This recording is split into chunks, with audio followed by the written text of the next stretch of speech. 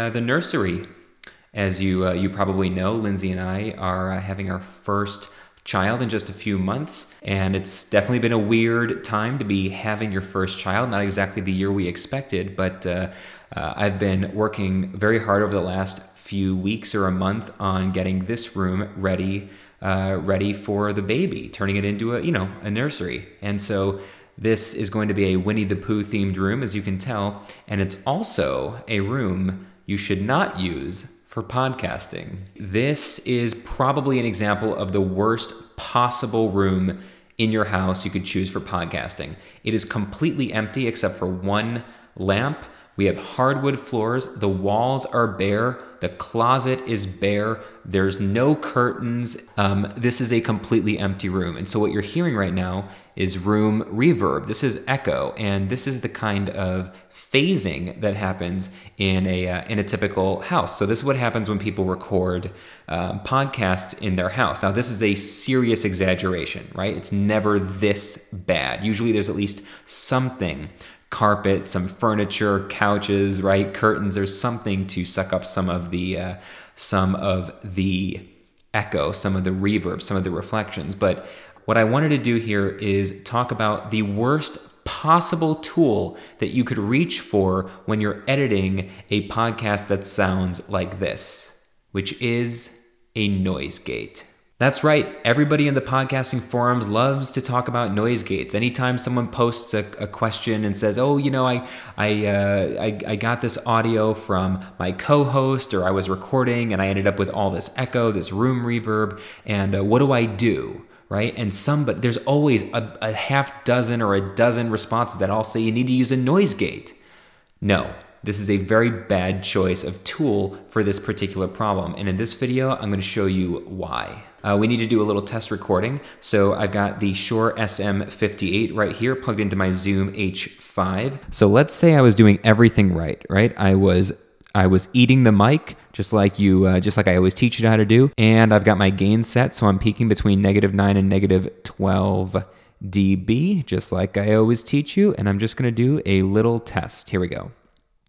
Well, here we are in Studio One. I've got a small clip from uh, from the other room pulled up here. Let's listen to it completely raw, and then talk about noise gates and why they're a bad choice to deal with this particular problem, and what tools you could use to uh, to attack it better. Let's listen. And I've got my gain set, so I'm peaking between negative nine and negative twelve dB, just like I always teach you, and I'm just going to do a little test. Here we go. Okay, so this would be a terrible choice, as we've already talked about. You would not want to record in a room like this, but even though you know better, I know you know better, because you listen to me, because you come to these tutorials, because you know you shouldn't be in a room that's that echoey when you're recording.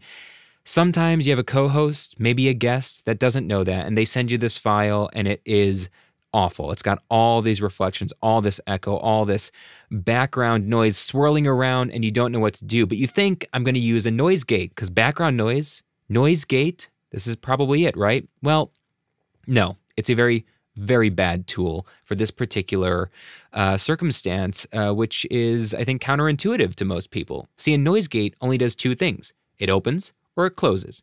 That's it. It exists in no other states. So all it's doing is letting in the entire signal when it's open and letting no none of the signal in when it's closed, right? There's no in between. There's no halfway, there's no a little bit, there's no a lot.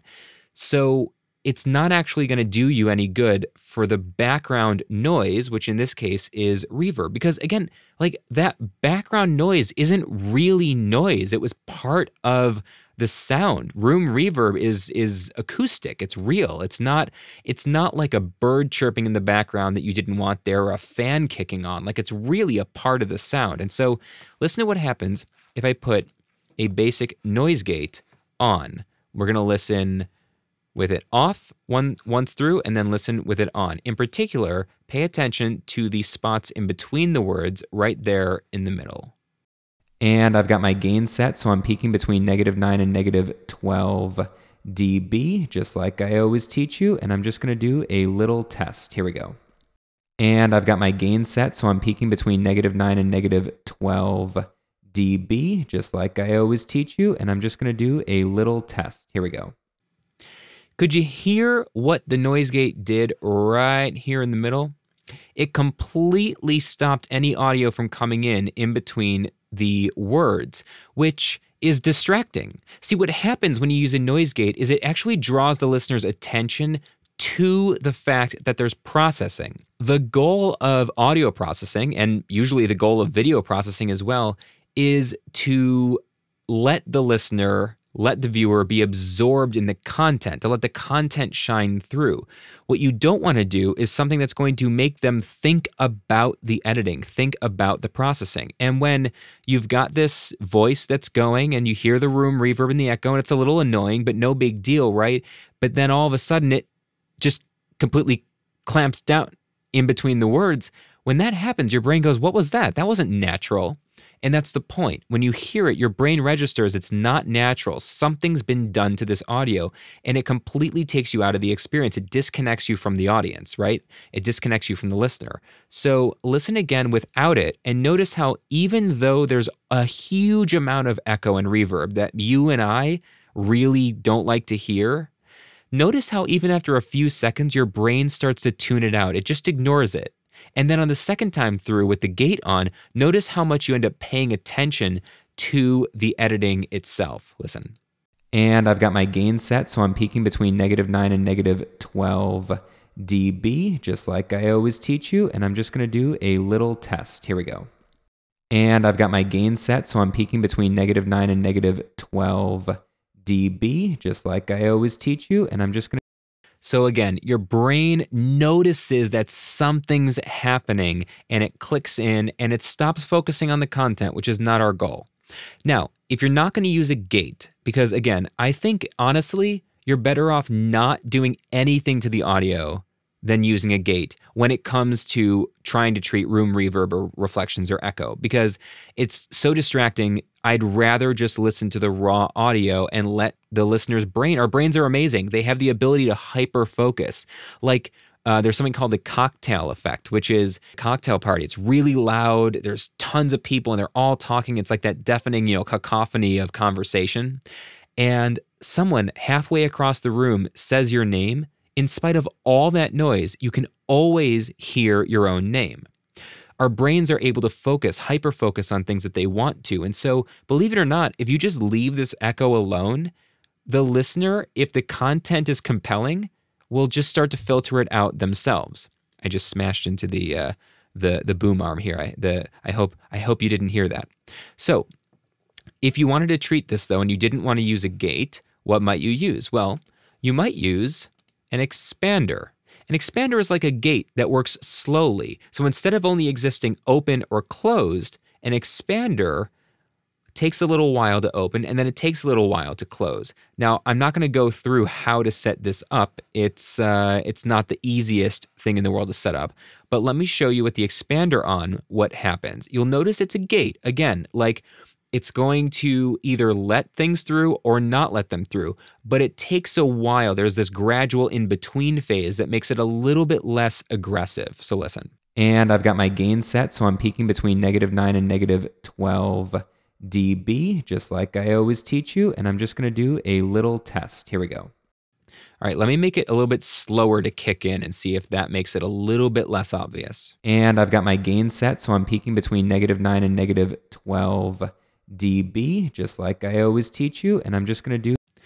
Okay, so it's still, you know, it's uh, let's see, let's uh, let's back off the threshold. See, here's the thing: when you have that much reverb, that much echo, there's not a lot that you can do that's really helpful when it comes to the traditional tools. Let's let's reduce it by less. So it, it was reducing uh, the silences to like mine by minus 12 by 12 decibels, which is a huge amount. So let's just do minus six. So it's only going to, when it notices silence, it's only going to get six decibels lower, uh, which is about twice as quiet.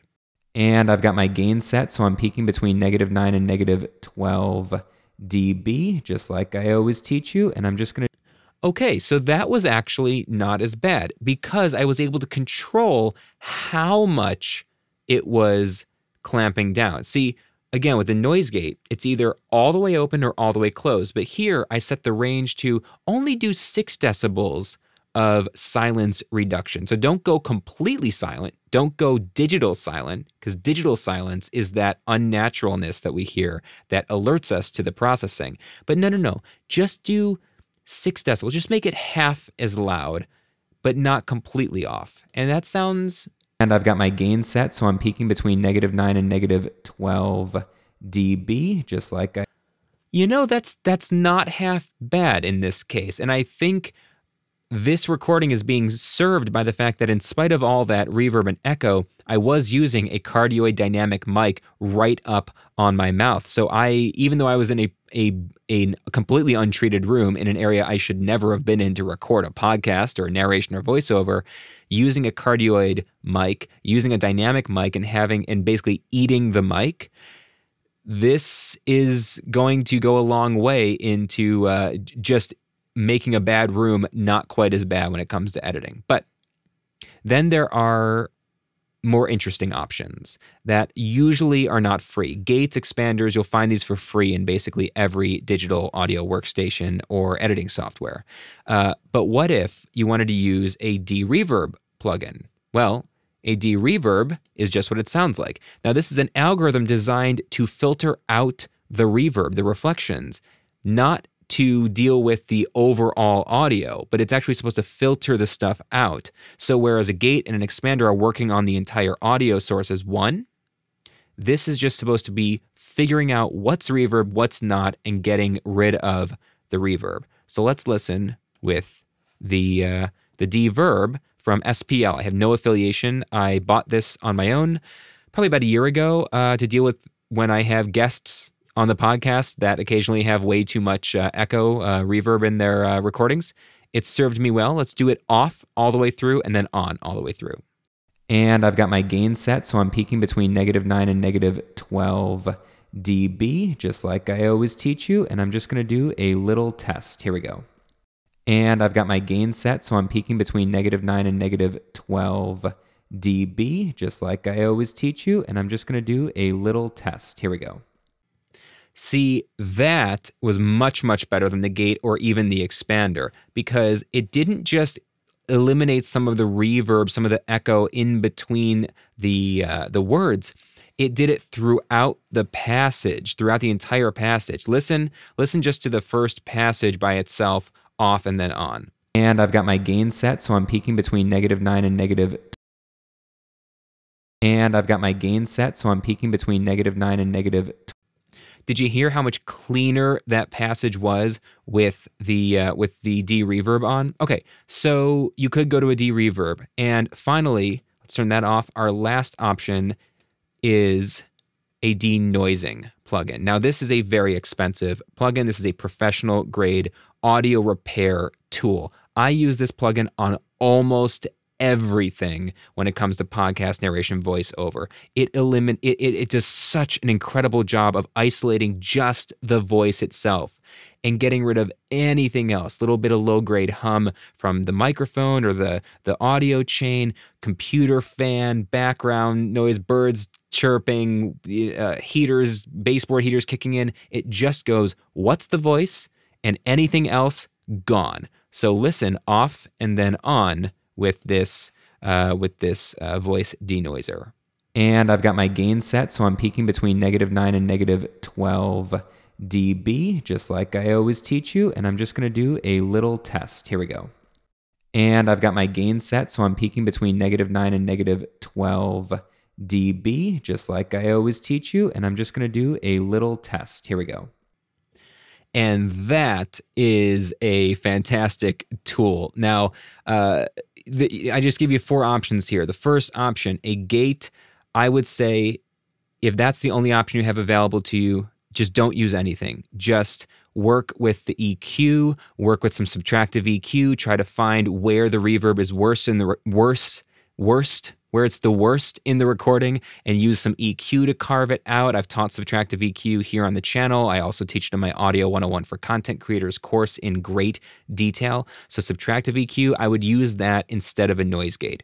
But if you wanted to try to deal with it, you could use an expander uh, to be a little bit less aggressive. Then, next best from there, I would look into a, uh, a Reverb plugin. And if you could only spend money on a single plugin for podcast narration voiceover, general content creation, I would go for broke and get uh, this is from iZotope uh, RX7, the voice denoising plugin. And uh, again, I have nothing. I just smashed into the mic again. I have no affiliation, no relationship with uh, uh, Ozone iZotope um, with this company. Those are all those weird words I just said. That's this company. I have no affiliation, but if I could only spend my money on one plugin for doing podcasting, or content creation in general, it'd probably be this. It has gotten me out of so many tight spots. Having said that, I hope this was helpful. Let me know in the comments if you want me to dive in deeper to any of these particular uh, plugins or tools. If you want to learn more about how gates work or how to set up an expander, um, anything else about de-reverb or denoising, I'm happy to uh, to entertain. If you're interested, let me know in the comments. And having said that, my name is Brian Miller. Thanks so much for tuning in to Audio for Content Creators, where we help you sound better and level up. And we'll see you soon.